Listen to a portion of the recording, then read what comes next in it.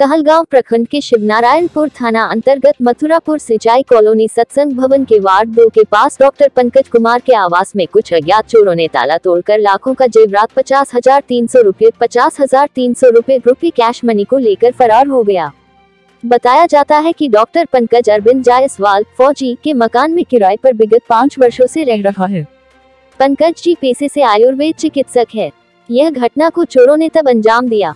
जब ये सभी सदस्य अपने रिश्तेदार के यहाँ घूमने गए थे, घटना के सुबह जब अन्य किराएदार ने देखा कि पंकज जी के तीन कमरों का ताला तोड़कर सामान को तितर बितर कर दिया है, सूचना प्राप्त होते ही डॉक्टर पंकज घर आए तो घर में चोरी होने की जानकारी शिवनारायणपुर थाने को दिया। जानकारी मिलते ही शिवनारायणपुर मामले की छानबीन कर रही है। घर में पंकज जी के अलावे उनकी पत्नी और दो छोटे बच्चे रहते हैं। कहलगांव से परशुराम शर्मा की रिपोर्ट। मैं डॉक्टर पंकज कुमार घर बुद्धूचक पंचायत मोहनपुर बगट्टा। मैं पाँच वर्षों से शिवनारायणपुर अ, डेरा में रहता हूँ।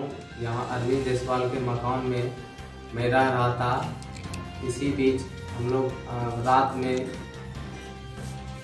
रात में भोज खाने बगल कहीं कहीं गए हुए थे। रात में हमारे घर में चोरी हो गया और ये तीनों कुंडी दरवाजे का काट करके इन्होंने हमारा अलमीरा से मम्मी का जेवर और वाइफ का जेवर पचास हज़ार तीन सौ का कैश लेके चला गया जेवर